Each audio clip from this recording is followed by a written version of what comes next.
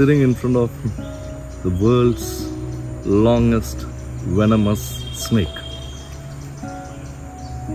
the king cobra,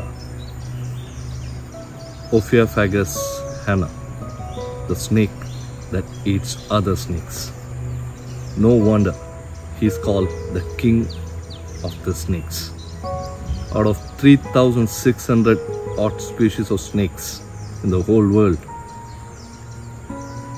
he is or she is the only snake which builds nest.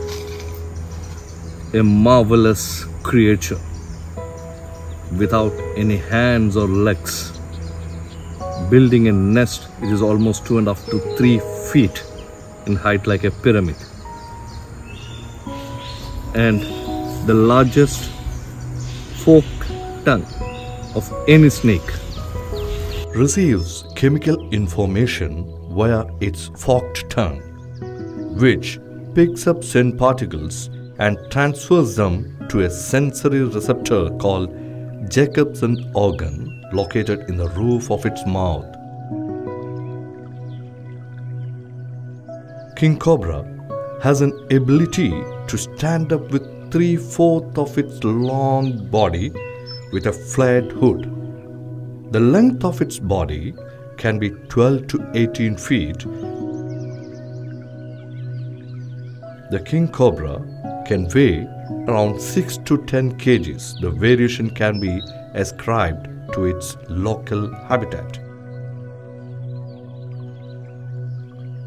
The eyes are large in comparison to many snakes with a similar head size. Its eyesight is better than most snakes.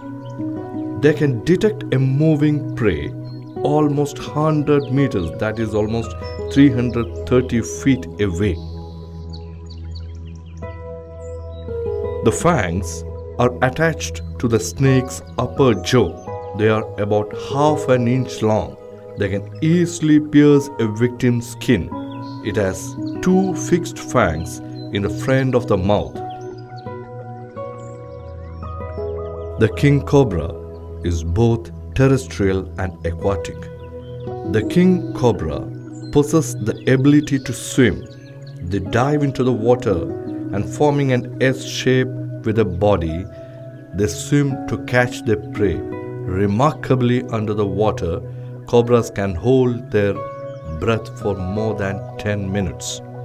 In the wild, these snakes can live for more than two decades. Since they can survive for long periods of time without eating and don't require much water.